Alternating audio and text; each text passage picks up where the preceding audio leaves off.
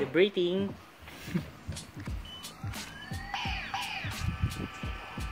so we're here outside passing And we're waiting for a car. Going to the meetup. So ito na yung kotse.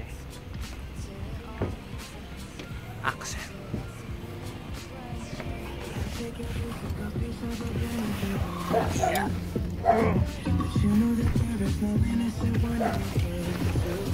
Busog pa si Brody.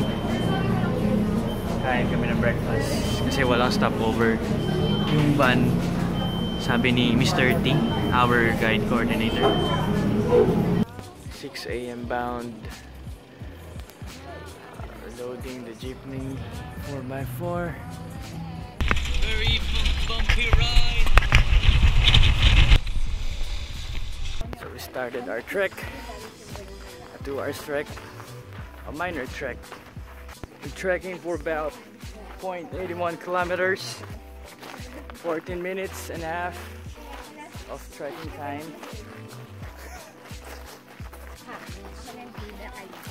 So, kumampate na daw yung bida, Mr. Kalisay. Pero wala kaming red horse. Central dito parang parang beach na walang tubig. Puro buhangin. Ito yung assault part. Mount Pinatubo.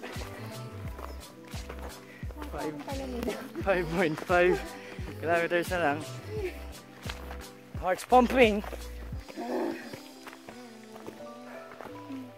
Kaya pa. Cloudy and windy. Without sun rays. UV index is intermediate. With 2.15 kilometers at 48 minutes of trekking time. Kaya pa? Ha? Presko pa rin. Ganda pa rin yung weather. Yeah. The river crossing part of Mount Pinatubo.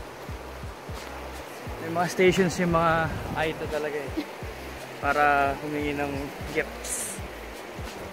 Tapos pipicturean namin sila. Cute. Nakikita ko na yung sinag dun oh. Ganda pa rin yung weather oh. Ba't kaya? Kasi wala si Tin. Roddy is tired. Inside and out. Inside and out.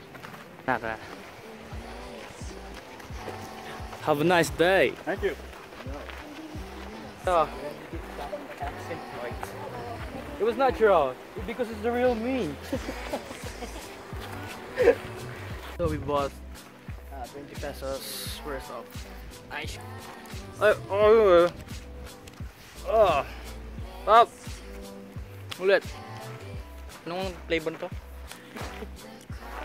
Buko pandan, avocado, matcha, Latte, macchiato, double shot, espresso. So Brody is resting kasi pagpagod daw kailangan magpahinga pero wag kang titigil matuto kang magpahinga pero wag kang titigil ah! so malakas ang hangin but the grass are very green expectation versus reality Maulan eh. Hindi kami makalipad ng eh. Brody is very disappointed. oh? Okay naman ah. Ganda naman oh. Welcome to Taal Crater! Waiting for the drizzle na mawala. Yes, we're gonna risk it to get the biscuit. Palili pa rin na po namin. Si Droney. Bahala na. Here you go. And if you lost the way to finding you, I will help you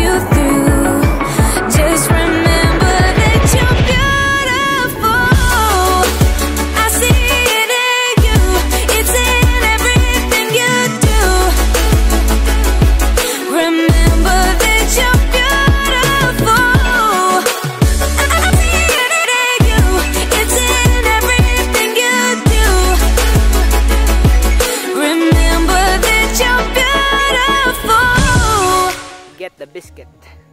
Clearing, clearing all over the place.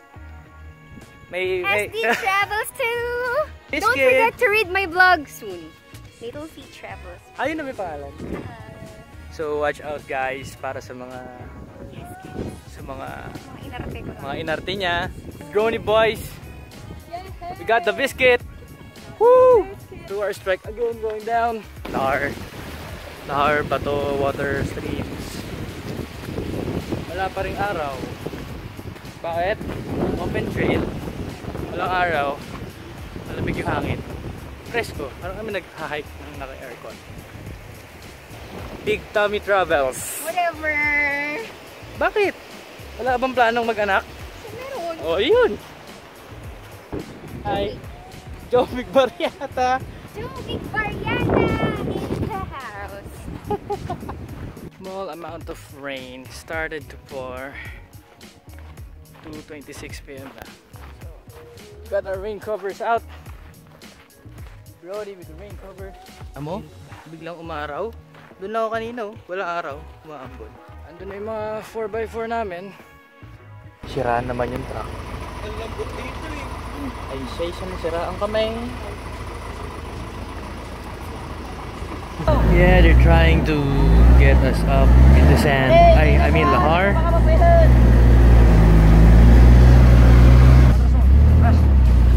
Oh. So, hahatangin na kami ng truck. Yun na yung truck. Let's go! Natanggal, natanggal yung tali. Kami hinatak. Ano kaya yung sunod? Part 2, let's go! Yeah! Oh my gosh, naputol pa din. Puto lang tali. Part 2. Natural na sa amin tong ganito.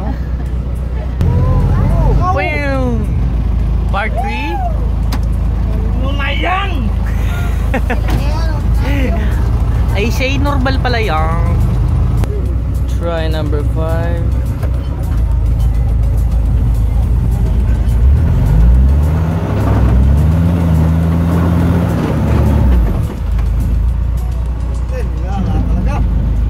Try number 6.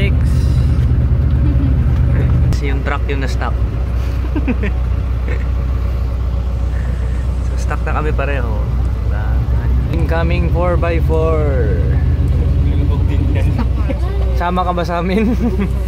How to stock in Pinatubo 101. Kami ta-transfer na sa truck at magpapaa. Lalakad sa lahar.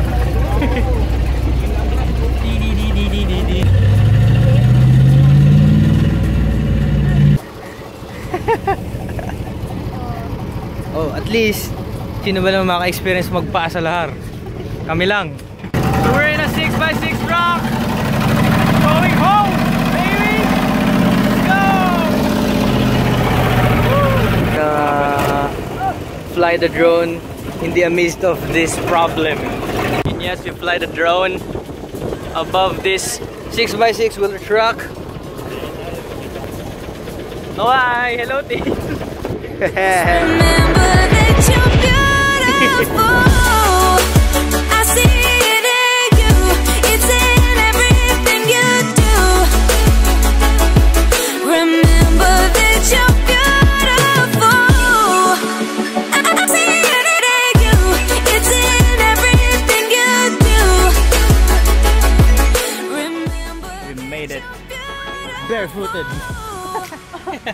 Headed back home safe here in Macdo, Ortigas, where we left off.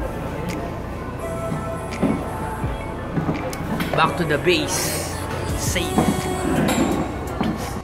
I know you've been hurt without a reason.